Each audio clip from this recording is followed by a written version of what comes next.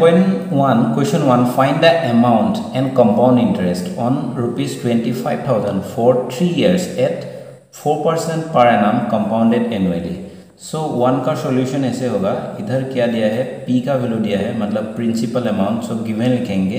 Given क्या दिया है? Principal amount twenty five thousand rate of interest r equal to दिया है फोर परसेंट तो सिंपल इंटरेस्ट में होगा तो हम इसको क्या लिखेंगे? कैपिटल आर लिखेंगे, लेकिन कंपाउंड इंटरेस्ट में हम इसको स्मॉल आर लिखेंगे।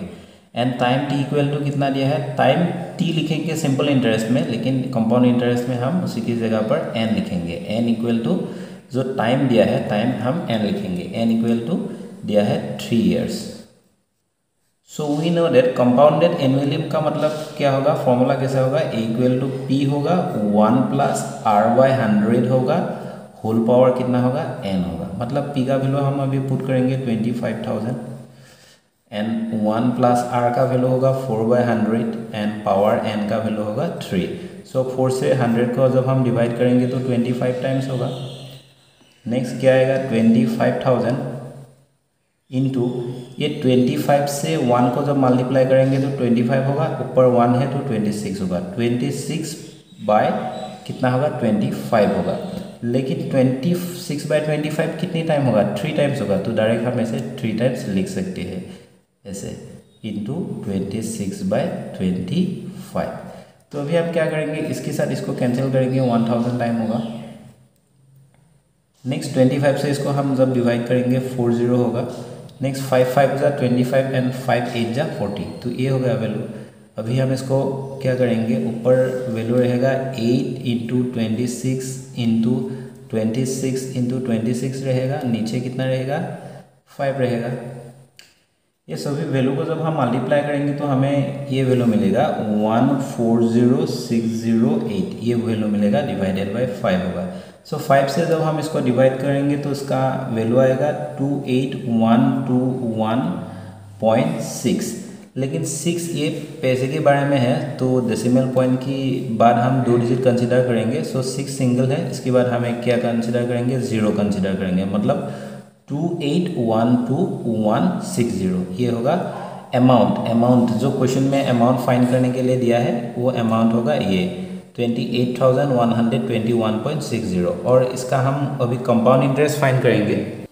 तो कंपाउंड इंटरेस्ट कैसे फाइंड करेंगे C I equal to A minus P करने से कंपाउंड इंटरेस्ट आ जाएगा। तो ए का मतलब क्या हुआ? A point six zero minus principal amount कितना होगा? Twenty five thousand so twenty five thousand है प्रिंसिपल अमाउंट इन दोनों को जब, इससे जब ये सब्सट्रैक्ट हो जाएगा तो वैल्यू आएगा three one two one point six zero ये हो गया इसका कंपाउंड इंटरेस्ट तो आंसर हम क्या लिख सकते हैं? तो amount equal to amount equal तो हम लिख सकते हैं two eight one two one point six zero and C I मतलब कंपाउंड इंटरेस्ट इक्वल टू हम लिख सकते हैं three one two one point six zero ये लिख सकते हैं। यही होगा इसका answer question two twenty four thousand is lent for one and half years at ten percent per annum compounded half yearly, find the amount to be received after one and half year given क्या दिया हुआ है? पहले उसको लिखेंगे। Given P equal to amount कितना दिया हुआ है? Twenty four thousand so twenty four thousand को हम पहले लिखेंगे। उसके बाद हम rate of interest r equal to लिखेंगे टेन परसेंट एंड एन जो टाइम दिया है टाइम कितना दिया है? वन एंड हाफ़ ईयर दिया है। तो इसको हम क्या क्वेश्चन में क्या दिया है कि कंपाउंडेड हाफ़ ईयरली तो इसको हम लिखेंगे according to question compounded compounded compounded half yearly half yearly so इसका जो फॉर्मूला होगा फॉर्मूला थोड़ा अलग होगा, ऐसे लिखेंगे A equal to P one plus इस आर को हम टू कर देंगे। R by two divided by hundred और जो पावर होगा पावर को हम ट्वाइस एन लिखेंगे। क्योंकि हाफ़ ईयरली है, इसीलिए ट्वाइस एन लिखेंगे। क्वार्टरली होगा तो फोर एन लिखेंगे और ईयरली होगा तो वन एन मतलब एम लिखेंगे।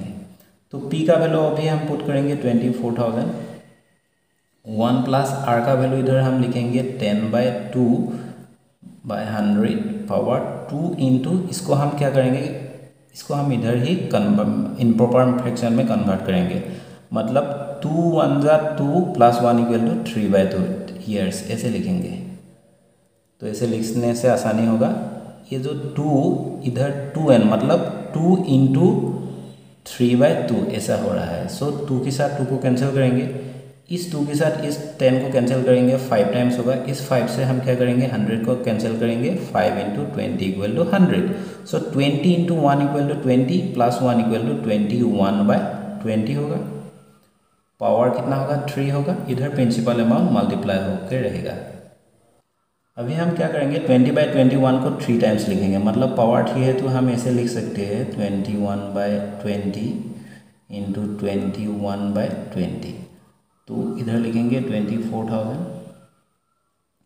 तो इस ज़ीरो के साथ ये ज़ीरो कैंसिल करेंगे इस ज़ीरो के साथ ये ज़ीरो कैंसिल करेंगे और इस ज़ीरो के साथ ये ज़ीरो कैंसिल करेंगे।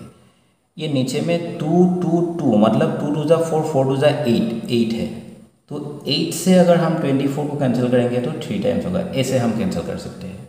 अभी वैल्यू कितना बचा? Three into twenty one into twenty one into twenty one so इन सभी वैल्यू को जब हम मल्टीप्लाई करेंगे तो टोटल वैल्यू कितना आएगा? Two seven seven eight three ये आएगा इसका अमाउंट अमाउंट का मतलब जो इंटरेस्ट प्लस प्रिंसिपल ये होगा after one and half year के बाद जो देने वाला टोटल अमाउंट ये होगा आंसर तो आंसर हम कैसे लिखेंगे? आंसर ट्वेंटी सेवन थाउज़ेंड ऐसे लिखने से ही हो जाएगा. Question three find the difference between the simple interest and compound interest on 12,500 for three years at 12 percent per annum compounded annually जब ये रुपीज़ हम थ्री ईयर्स के लिए तो rate of interest twelve percent से एक बार कंपाउंड इंटरेस्ट से निकालेंगे और एक बार हम सिंपल इंटरेस्ट निकाल के दोनों का डिफरेंस फाइंड करेंगे तो डिफरेंस कितना आएगा वही होगा उसका आंसर तो उसका सॉल्यूशन ऐसे होगा पहले लिखेंगे हम गिवन क्या क्या दिया है पहले उसको लिखेंगे गिवन पी इक्वल टू दिया है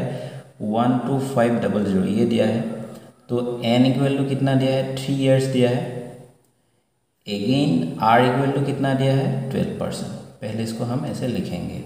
तो नेक्स्ट क्या दिया है? इसको कंपाउंड एनुअली करने के लिए बोला है तो हम इसको लिखेंगे वी नो डेट सब हम एनुअली कंपाउंड करेंगे तो हम लिखेंगे वी नो डेट हम क्या जानते हैं? A equal to P one plus R by hundred power N तो पी का वैल्यू कितना होगा? ये होगा। वन प्लस आर का वैल्यू आएगा twelve by hundred, power N का क्या होगा? थ्री होगा। सो थ्री फोर ज़ा twelve and four twenty five equal to कितना होगा? हंड्रेड। क्या होगा? Twenty five into one equal to twenty five plus three equal to twenty eight by twenty five तो इसका पावर कितना है? थ्री है। मतलब हम ऐसे लिख सकते हैं twenty eight by twenty five into twenty eight by twenty five इसके साथ हम क्या मल्टीप्लाई करेंगे? ये जो प्रिंसिपल अमाउंट दिया है, उसको हम मल्टीप्लाई करेंगे। तो पहले हम क्या करेंगे? इस ट्वेंटी फाइव से इसको हम कैंसिल करेंगे। तो five twenty five into five equal to कितना होगा? वन ट्वेंटी फाइव तो फाइव हंड्रेड होगा। तो इससे इसको हम कैंसिल करेंगे, कितना होगा? ट्वेंटी होगा। तो नेक्स्ट फाइव फाइव ज़ा twenty five and five four ज़ा ट्वेंटी अभी हम क्या करेंगे? ऊपर में जो वैल्यू है, सभी को मल्टीप्लाई करेंगे। Four into twenty eight into twenty eight into twenty eight divided by five इन सभी वैल्यू को जब हम मल्टीप्लाई करेंगे तो उसका टोटल वैल्यू आएगा eight seven eight zero eight divided by five रहेगा।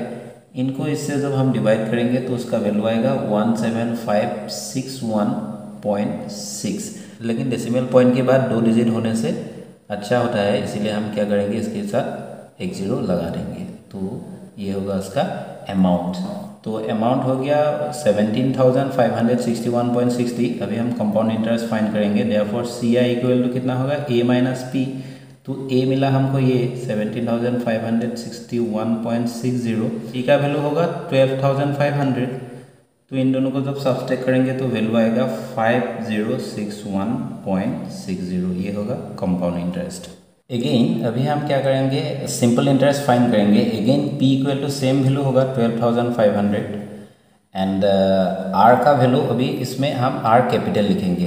कंपाउंड इंटरेस्ट में आर हम स्मॉल लिखेंगे और एन जो टाइम होगा टाइम एन लिखेंगे। लेकिन सिंपल इंटरेस्ट में हम कैपिटल आर लिखेंगे रेट ऑफ़ इंटरेस्ट की जगह पर। इसमें दिया है ट्वेल्व ट्वेल्व परसेंट ही लिखेंगे। एंड इसमें टाइम एन लिखा हुआ है, लेकिन इसमें टाइम टी लिखेंगे T equal to three years so therefore S I equal to P R T divided by hundred so P का वैल्यू इधर हम पुट करेंगे twelve thousand five hundred into R का वैल्यू होगा ट्वेल्व एंड टी का value होगा three so इधर होगा हंड्रेड इस ज़ीरो के साथ ये ज़ीरो कैंसिल करेंगे इस ज़ीरो के साथ ये ज़ीरो कैंसिल करेंगे. ये जो वैल्यू है, सभी वैल्यू को जब हम मल्टीप्लाई करेंगे तो उसका टोटल वैल्यू आएगा फोर फाइव डबल ज़ीरो ये होगा उसका सिंपल इंटरेस्ट तो अभी हम डिफरेंस फाइंड करेंगे. Therefore difference between compound interest and simple interest equal to हम कंपाउंड इंटरेस्ट से सिंपल इंटरेस्ट को सब्सट्रैक्ट कर देंगे, क्योंकि ये स्मॉलर है, ये ग्रेटर है. तो फाइनली रिज़ल्ट कितना आएगा? Five six one point six आएगा. सिक्स मतलब सिक्स ज़ीरो हम लिख सकते हैं तो आंसर हम ऐसे भी लिख सकते हैं.